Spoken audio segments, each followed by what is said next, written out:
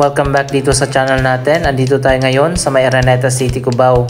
Magbibigay tayo ng update sa bagong Gateway Mall 2 extension.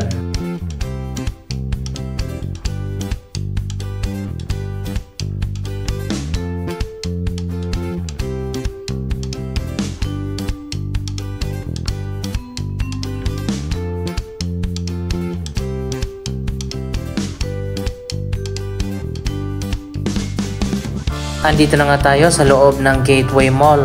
Dito sa may third floor, sarado pa rin yung area na papunta doon sa bagong mall extension.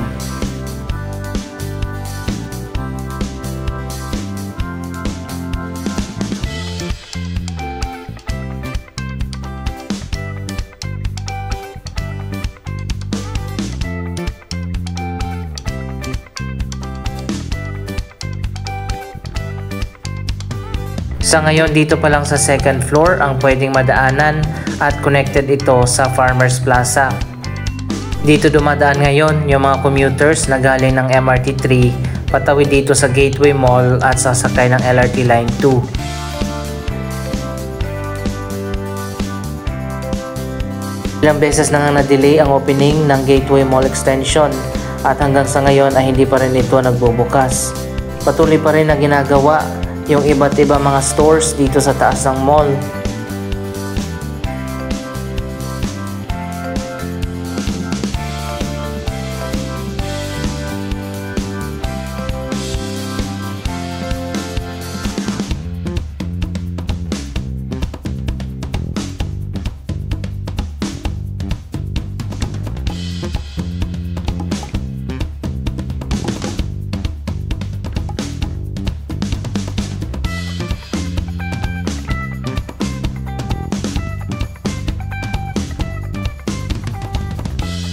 Dito pa lang sa second floor, unti-unting nagbubukas ang mga bagong restaurants at mga food stalls.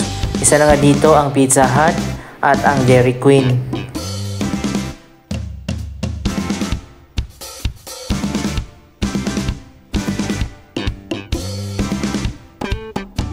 Napakarami mga stores at mga shop ang magbubukas dito sa bagong Gateway Mall extension, ang pinakabagong upscale mall dito sa Araneta City, Cubao. Dito naman sa baba, napakaganda na dito. Bukas na yung mga LED lights na inilagay nila.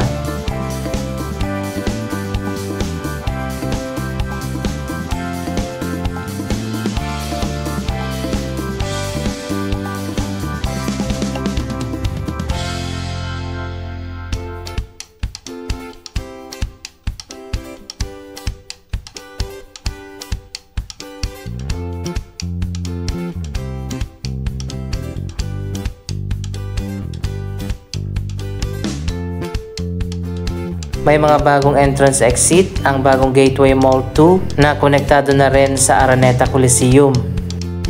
May bagong entrance exit dito sa baba at meron din doon sa taas.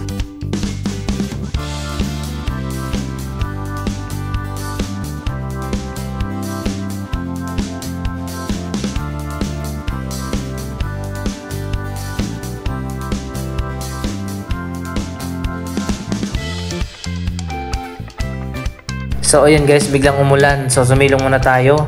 Mamaya itutuloy natin ang update.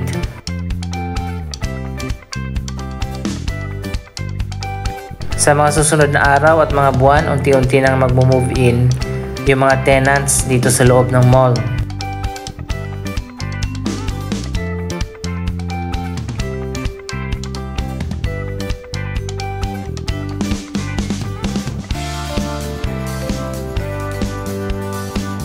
Ito na yung final design ng exterior ng mall. Meron ding area dito sa mall na may mga glass.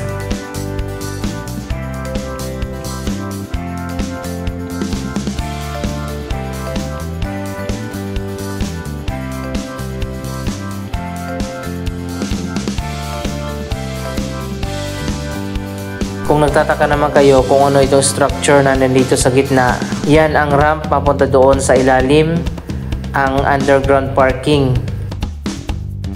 Nasa 3 to 5 levels ang underground parking ng bagong Gateway Mall 2.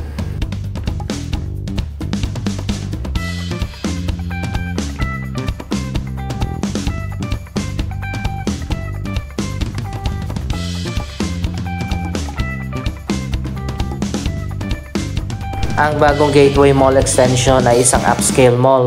Ibig sabihin, mas maraming mga international brands ang magbubukas dito. Andito na tayo sa bagong entrance na connected na sa Araneta Coliseum.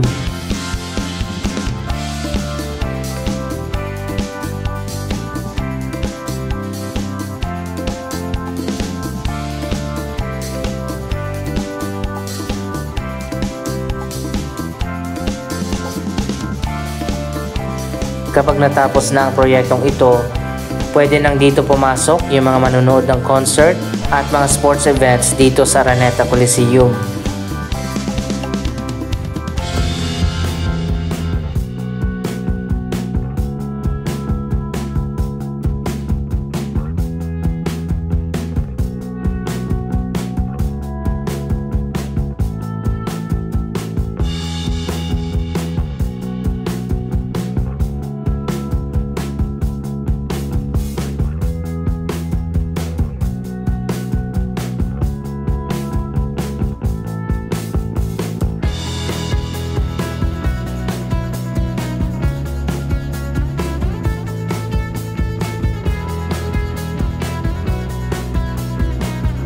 Nasa 5 billion pesos ang ginastos ng Araneta Group sa pagpapatayo ng bagong Gateway Mall 2 kasama na dyan ang bagong hotel.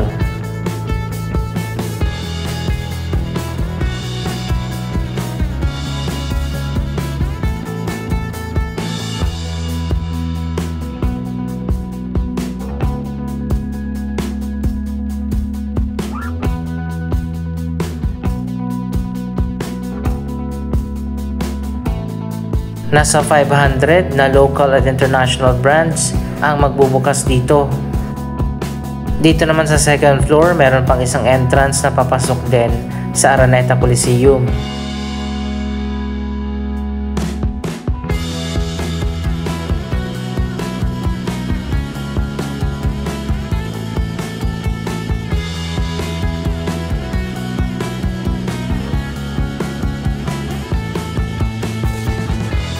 Ito naman yung bagong hotel na natapos na rin, ang IB Styles Hotel. Katabi lang din ito at connected sa bagong Gateway Mall 2.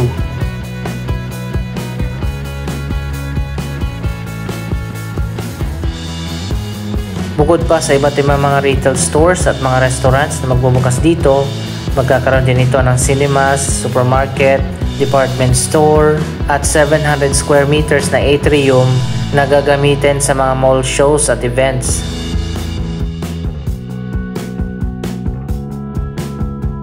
Sa taas naman ay magkakaroon ng Sky Garden. At meron din dito na 500-seater na church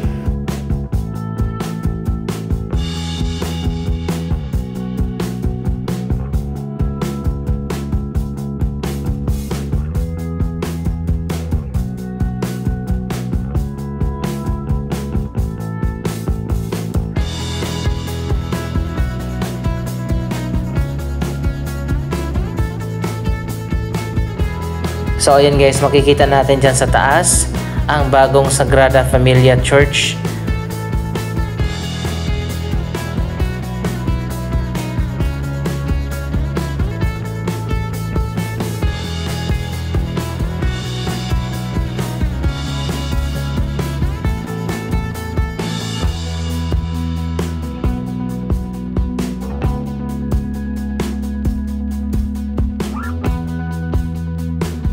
Ayon pa sa huling update na nakalap natin, inaasahan na magbubukas ang bagong Gateway Mall 2 sa December 2023.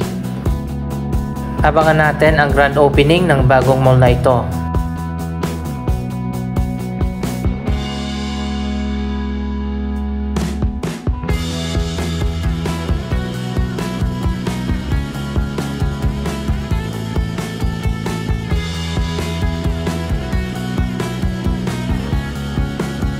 So guys, ano masasabi nyo? Dito sa pinakabagong mall sa Araneta City, Cubao, ang Gateway Mall Extension. Mag-comment lamang dyan sa baba ng inyong mga reaksyon. Meron na pala tayong Facebook page. Please like and follow Neon Plus. Maraming salamat sa inyong panonood. Don't forget to like, share, comment, at subscribe. Thank you for watching.